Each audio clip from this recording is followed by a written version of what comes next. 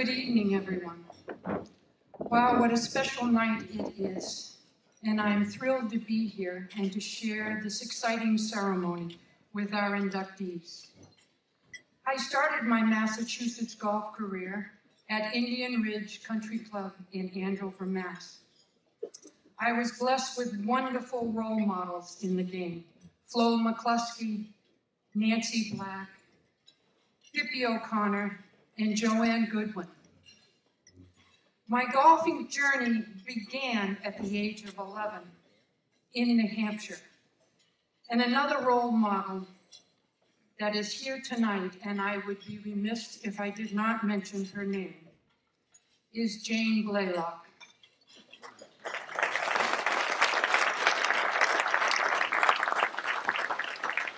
Jane, Jane is the CEO of our Legends Tour, which is the senior division of the LPGA Tour. JB, thank you for your help. Thank you for keeping our dream still going at this stage of our lives.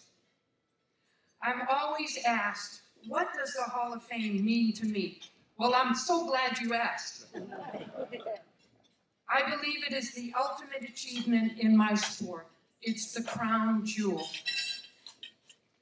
To have my state, Golf Association, recognize my record and my career, that is the most rewarding and most filling honor in the game.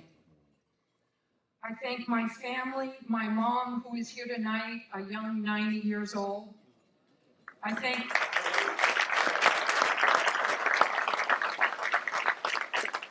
I thank my five brothers, Chris, who is here tonight with me. I thank the Hall of Fame committee, and I thank all of you out here tonight. I spent 30 years on the LPGA Tour, and I knew, I felt your cheering, and I felt your support all along the way. Finally, I would like to say congratulations to the class of 2014 and just welcome to the hall. Thank you.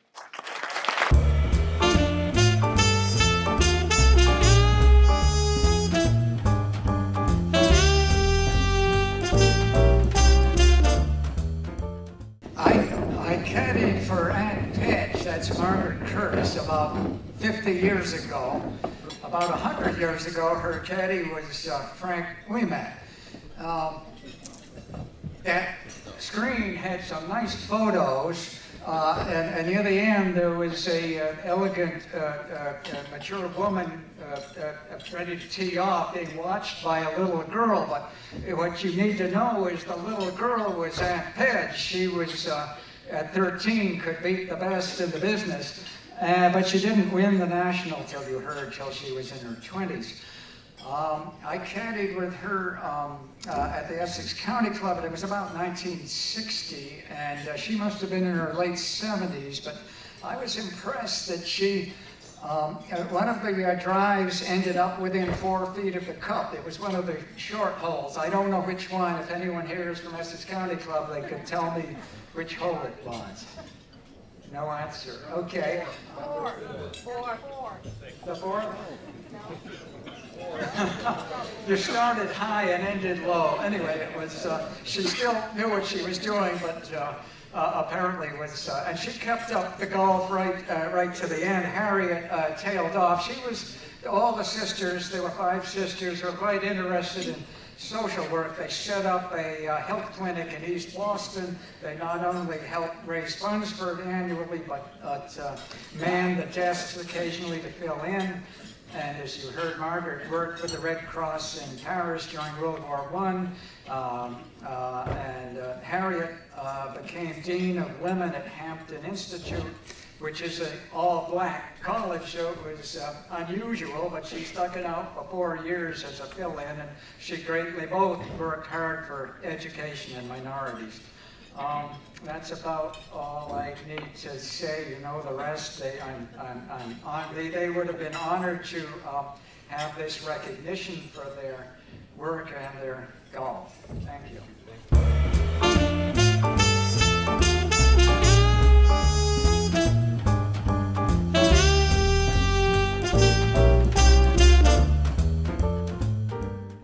Is not for me, but thank you.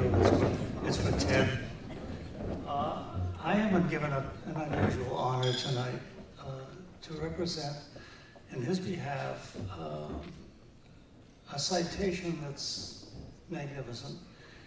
And in a few moments that I have, it'd be hard for me to, to give you the magnificence of this man. Ted was, as a golfer, a very tall man. Was around six five or six feet six. That, if you ever played the game, you know, is tough on your balance, and boy, did he have good balance. He was born with a very calm disposition. He could absolutely suppress the magnitude of the moments that were facing him. I was a lucky caddy in 1946 to be at Woodland when Ted came back after four or five years in the service, and he had his khaki cap and uniform on and went out to play golf. And that was my first meeting with Ted. We got to play an awful lot during the 50s and 60s. And I have to tell you about three things that he did that in his day, no one could think of. He shot two rounds of golf in the greater Boston area where he made 11 birdies and seven pars in the round. One of them was at the Charles River Country Club. The other was at Woodland. No one did that. It was just impossible. The other thing that comes to mind is Dave, uh, when Dave Sullivan, who was a New England and amateur champion, was at Charles River Country Club with us, Harry McCracken, you all know Harry.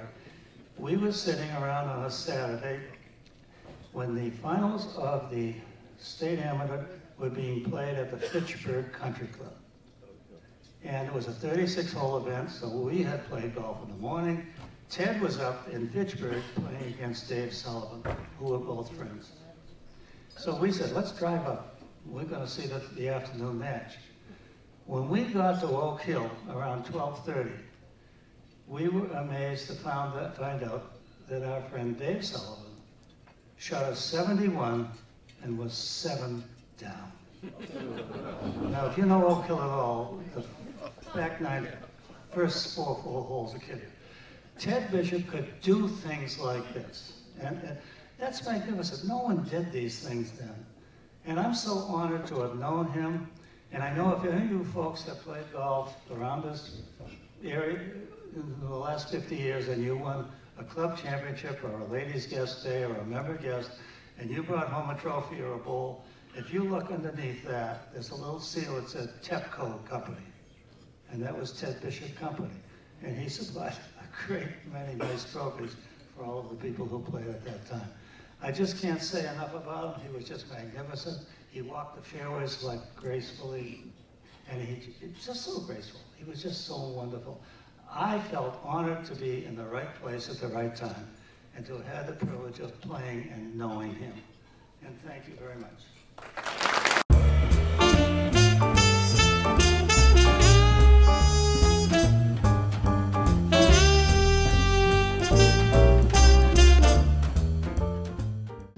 So Joanne and I are going to have a little fireside chat here.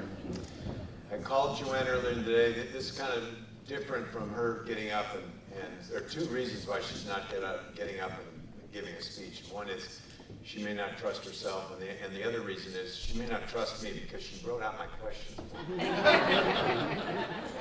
so I appreciate that. The first question that you wanted to talk about is how you got started. Your dad was a golf pro, Plymouth Country Club in the World War II in the 50s, and so he probably just said, here, Joanne, start playing, or did he? Well, uh, my father was offered the pro job at Plymouth Country Club during World War II, and he discussed it with my mother, and they decided that they would try it. All the time that my father was a pro at Plymouth Country Club and later at Haverhill Country Club, my mother worked in the pro shop with him, so it was a team event. And at Plymouth, we rented a cottage across the street from the club. And when my brother and I came home, we would change our clothes, we came home from school, and we would go to the club because our parents were there and we spent many hours there. At that time, Plymouth Country Club, The clubhouse was very small. It was a snack bar and uh, the pro shop. So we helped them with selling the snacks and selling some of the golf equipment. And on weekends, there was a, a cooler that we had out on the 10th tee. And at that time, we didn't have refrigeration. We had an ice box in our house. And so on the weekends, my father would go to the ice company and get a block of ice and put it into the cooler so that we could keep the soda uh, cool. So we sold snacks on the weekends and the soda. I helped my father when he gave the lessons. There wasn't really a driving range. So I would watch him give the lessons, and then afterwards I would go out to get the balls. And it gave me an opportunity to see what a good pro does, to analyze. Usually I would analyze the swing as he was analyzing it, and just see if I found the error. Usually it was not. Usually he had something else to tell them. So we were there so often that uh, my father taught us the game. And at that time, I was 14 before I played in my first tournament, the state junior junior championship.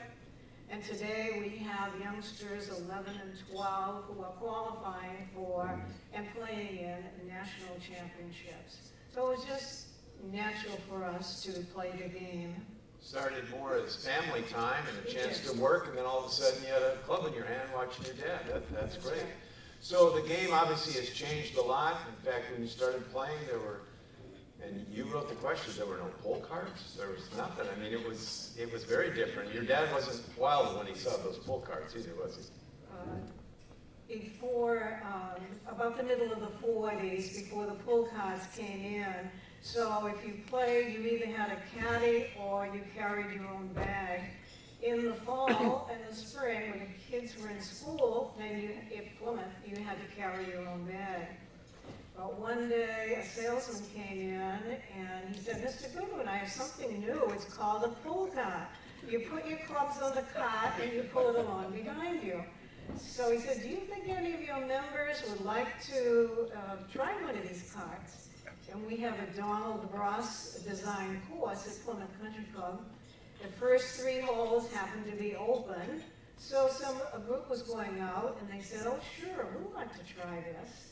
So we stood, at that time, the clubhouse was on a knoll, and my father and I and some of the members were watching this group play. And my father said, what is this game coming to? When you, you, you can't carry your bag, you've got to pull it along behind you. And then the, the uh, riding carts came in in the 60s, but before that, I went to Pennsylvania to play in the Eastern Championship, and they had a very hilly course. So in some of the holes, after you hit your drive, you could walk over to the side, to the rough, and they had a rope tow, and you could press the button, hold, hold on to the rope, and it would help you walk up the hill. But I tried it once or twice, but by the time it took all the time and energy to get over there, to get back to the fairway, uh, it really wasn't worth it. So great when the riding carts came in. One, one of the tournaments you played in when you were 16 was the state girls junior championship, and there was there you were, I think, in the finals, and your score was Margaret Curtis. Yes. Yeah. Uh, I didn't. I never knew Harriet. She wasn't around when I was young. But we knew Margaret. She would be there at the opening lunch, sometimes the closing lunch. And when I was 16 at Framingham, I was playing in the junior finals, and she was our scorer.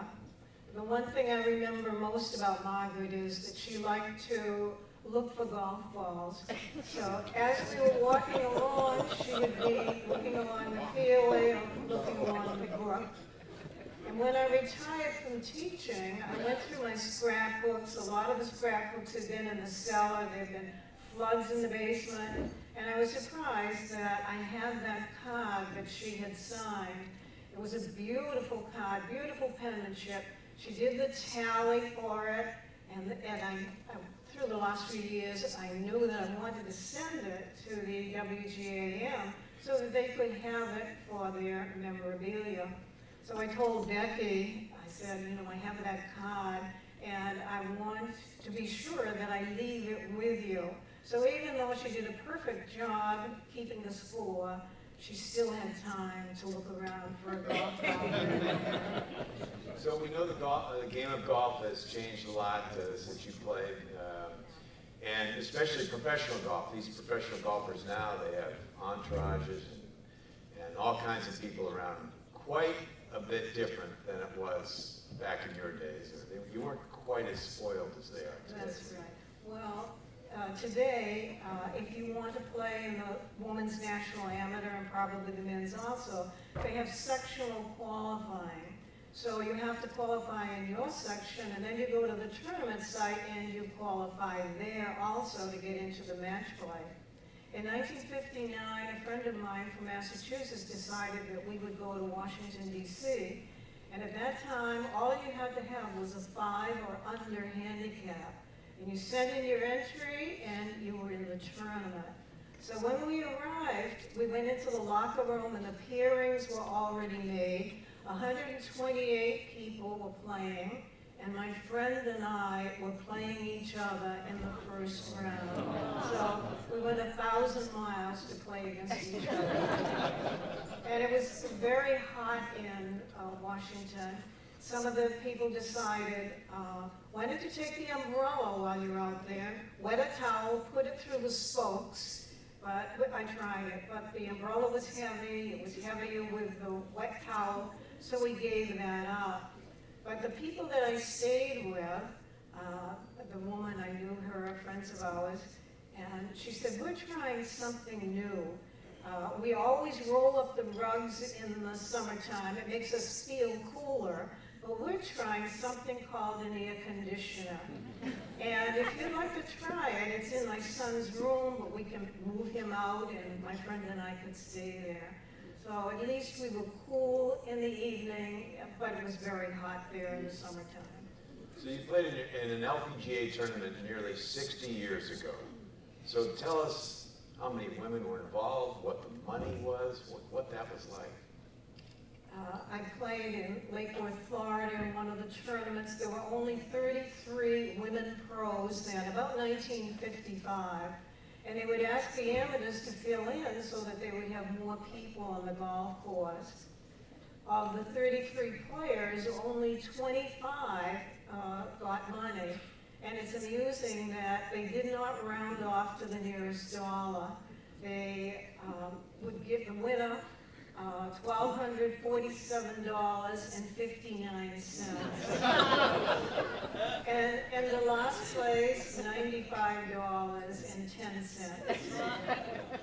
And, but it was amazing that some who were great did not get any money. Kathy Whitworth, who went on to win 88 tournaments on the ladies tour, she did not place in the money that time. And Betty Jameson, who liked to wear a string of pearls when she played, she was out of the money also. For some people, those were very lean years, and they made it easier for those who came later. Well, Joanne, thanks very much for laying the foundation for golfers today.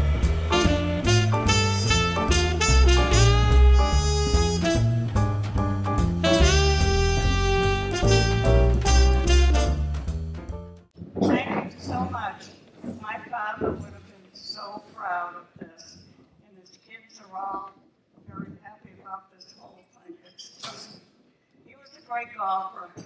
Thank you so much. On behalf of my mom and my family that's all here tonight, uh, we'd like to thank the Mass uh, Golf Association Hall of Fame Committee for this wonderful honor.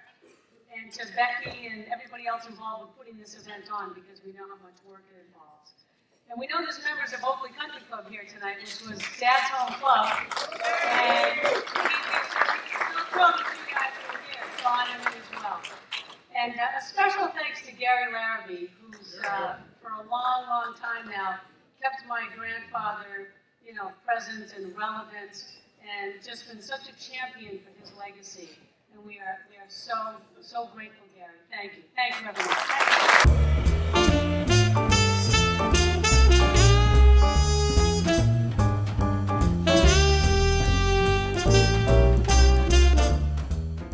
Thank you. everyone. Um, Dad passed away about three years ago, and uh, given that this is Massachusetts, given uh, a lot of teaching professionals, professionals in golf, and a lot of his friends, I'm sure he's with us tonight. So I'd just like to say hi.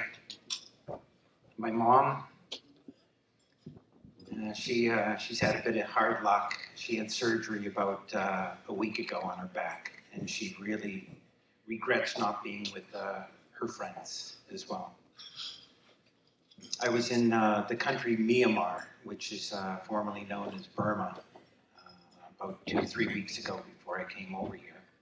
My family and I, we live in Thailand, and I was sitting down having dinner with actually uh, about 15 guys, a bunch of strangers, but they were kind enough to invite me to dinner.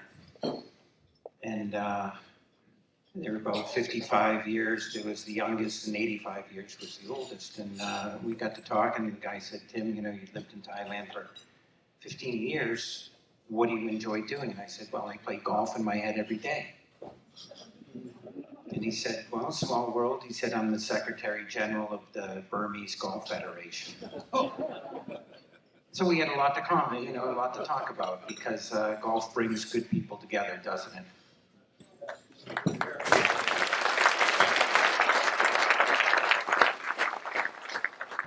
And so I said, by the way, my dad, uh, my dad was here about 50 years ago. And he just looked at me, and I swear, I swear I was looking at a guy that was having a heart attack standing up. I, I, I didn't understand the expression on his face, and all of a sudden these tears started streaming down. And he said, Your dad was uh, Paul Harney. I said, Yeah. He said he was a great man. He didn't say anything about how far he hit the golf ball, how you know, six tournaments, the PGA, the five Mass Opens. He said he was a great man. And uh, Massachusetts, the MGA, the Hall of Fame Committee, Tatnuck Country Club, Green Hill, you guys made him. Yeah, I mean, that's what that guy was talking about. You guys made him. If he was here today, he, would thank absolutely everybody. He wouldn't, he wouldn't be talking about his accomplishments, he'd be thanking everybody here. My mom, the, uh, the Harney family, every member of the Harney family thanks you very, very much. And uh, he's honored. We're honored. And uh, thanks, thanks for cultivating that, that legacy. So I appreciate it.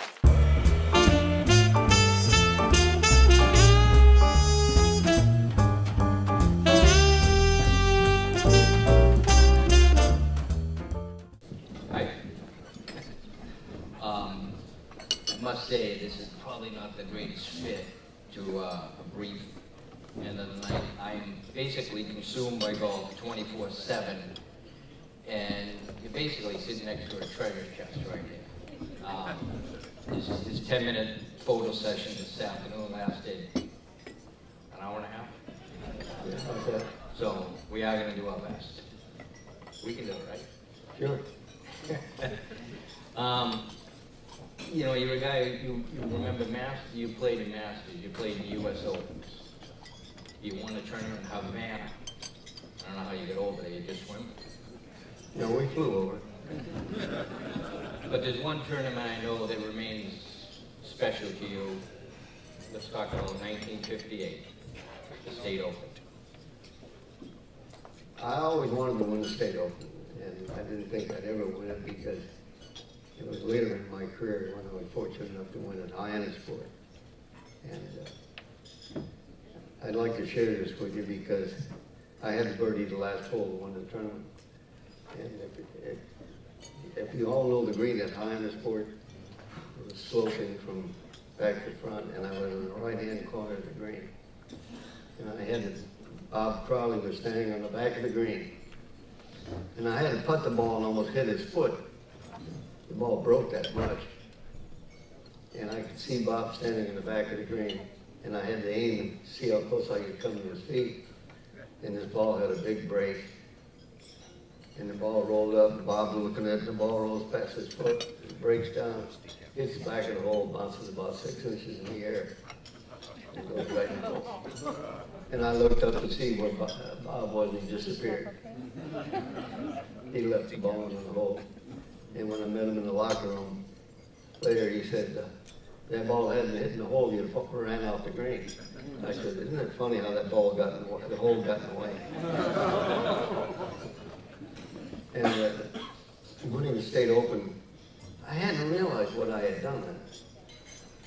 Uh, and then when I looked at and found out the champion that won that tournament, Paul Harney, one of my one of great friends, Pat Paul, great people. Uh, Paul Harney was a super guy. What, what, what a wonderful family. Uh, and uh, Well, the names that you uh, joined, Hagen, Byron Nelson won the tournament. Hagen, Hagen, Sarazen, and I had met all these guys. I met Hagen, Sarazen. And, and then when I looked to see that all these champions had won this tournament, I didn't realize what an elite group of talented people that won the Massachusetts State Open. And to be a part of that winning legacy. That was one of the greatest thrills of my life was to win the state open because I had never won a state open. And I won it. I won I won that after I actually got on tour. So it was easier for me to come back and try to compete and win. And uh, one of my one most wonderful ch- cherished achievements was to win the state open and uh, be a part of uh, the great players that won that tournament. you know, I asked Bob, you know, he's taught thousands of people to play the game. Ted Williams, Eddie R. Carroll, I mean, he taught them all. And I, you know, he's met everybody. He's won the 1954 tournament. He won, I think, at the time was the richest tournament World on championship? World Championship of golf. That was the first fifty thousand dollar first prize first. And uh, I signed a contract for another fifty thousand to do exhibition tours. All over, I did fifty-seven exhibitions the following year, all over the United States and Canada. And uh, all of a sudden I got rich. I think I made uh, over a hundred, some odd thousand dollars back in nineteen fifty-four. And I became winning money winner, and my wife became winning money spender. I'll tell you one thing, she was, she was good at that. But I'll tell you one thing, she did it with class.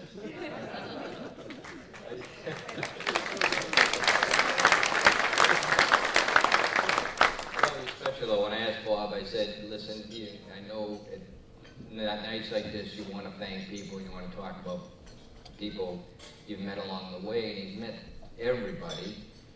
And I said, well, who do you want to talk to? And he goes, two Massachusetts golfers. You mentioned them briefly, Paul Harney, and I know Pat Bradley. Well, I used to, I knew Pat when she was in college down there in, in, in Miami. And, uh, I remember working with Pat. I always enjoyed her, her tremendous talent she had and how competitive she was. And I asked her tonight, I said, uh, who had the greatest competitive skill to play golf, you or, or, uh, uh, what's, what's, what's the, the tour player? Keegan. Keegan. Were you a better competitor than Keegan, Pat? You could learn a lot from me. I knew I'd get that. We rehearsed that. And uh, I just love to watch her play golf. You talk about a dynamic woman that wanted to learn how to compete and play and win. Uh, I admire the way she played the game of golf. And, uh, she's always been a great friend, and I love you.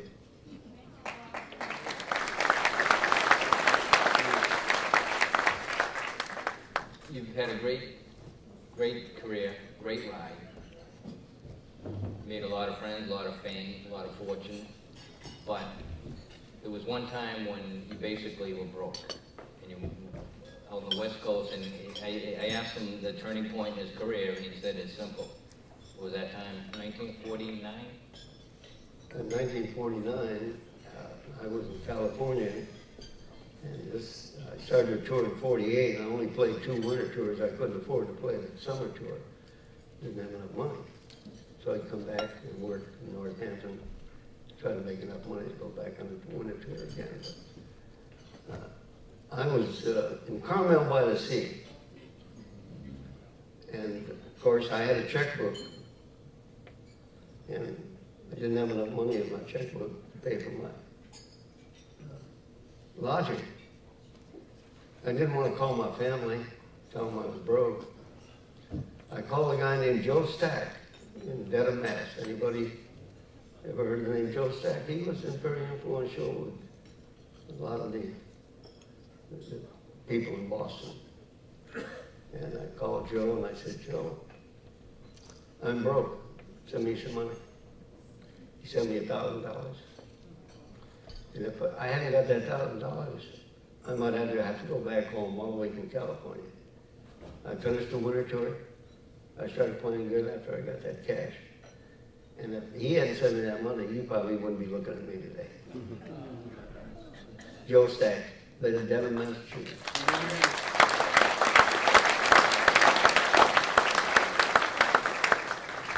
He's a great guy. I think, I speak for Bob and I, I, for all of us, I think all of us are only as good as the people behind, behind us. You know, you were married for fifty-seven years. Fifty-seven years. Uh, I married a girl, a Scottish girl named Lynn Stewart. And I was married to her for fifty-seven years. She was beautiful. Uh, she was a model. She was auburn hair. She passed away about three years ago.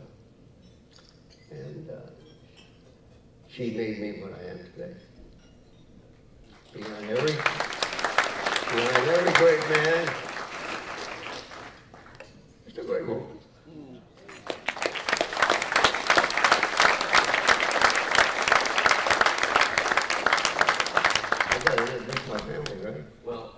Introduce him, but I would say that, you know, I came in tonight thinking I knew most of Bob's life story and stuff, till I realized he's not even the youngest golf professional in his family, and he's eighty-eight.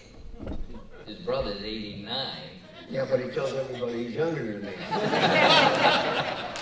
But as- that's the way of, you, you introduced this great family that's been behind you all these years. All right. If you don't mind, to break protocol here, I want to introduce all these people who came up here to, to enjoy these festivities with me. So, I'll start with the, uh, my first and born son, Robert. Will you please stand? Don't clap, don't clap until everybody I mention. Robert, would you please stand, okay? Okay. Uh, Tom, Tommy Toski, my brother. Adrienne Toski, my granddaughter. Lynn Mazeski, a friend of Tommy's. Lynn, please stand up. Dottie Nealon, my sister. Paul Nealon, her, his son, her son. Uh, Billy Fisher, uh, my, my sister's son. Sierra Toski. Uh, and a, a, friend of mine, a professional friend that I came all the way from New Jersey to be here tonight, who I will, will now tell you it will be in the Teaching Hall of Fame. That's how, how, how intelligent this man is about teaching golf. I've known him about, how long have I known you, Steve? What'd he say? Fifteen. Steve Bourbon. You gotta have a shot of bourbon. What a brilliant mind. What a brilliant mind. And uh, on the other Blue Star table, I have uh, uh, a number of people there, but they're not in, with the fam- they're with my family. But I'd like to introduce Susan and Kathy Sylvester. They standing? Uh, Marty Reeder. Her uh, husband Jack was supposed to come, but he couldn't make it. So have I got everybody? Have I missed anybody?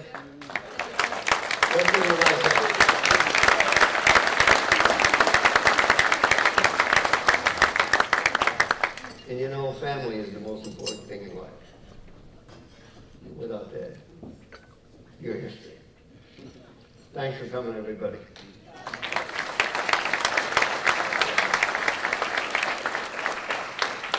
On, on a personal note, we, um, we used to, when we were younger, we didn't have TV, and we didn't have the golf channel, which was probably a good thing that we didn't have it when we were younger, but we a lot of us learned how to play golf through your stuff in Golf Digest and your books. And a gentleman today brought out a book, showed it to Bob, and I, I don't know how many books you've written, but, um, Five or six. This, um, I think this night, this man epitomizes what this is about because he's a pretty special guy. Well, I've always felt that uh, without golf, I would have not been what I am today. Golf gave me everything I had. I came from a large family. Uh, my dad was a brass worker, and I caddied, started caddying when I was about 10 years of age. And uh, I took to golf like ducks taking to the water. I fell in love with the game. I played five sports in high school, but I felt that I couldn't play those sports because I was too small. I wasn't big enough. But I knew I was good enough, big enough to play golf because the club doesn't care how big you are or how small you are. Neither does the ball care. If you know how to swing the club and find the ball, put it in the hole, you'll be a champion. And I proved that to myself at 118 pounds. There'll never be another 118 pound player in the world. It'll be Lee Moneyline.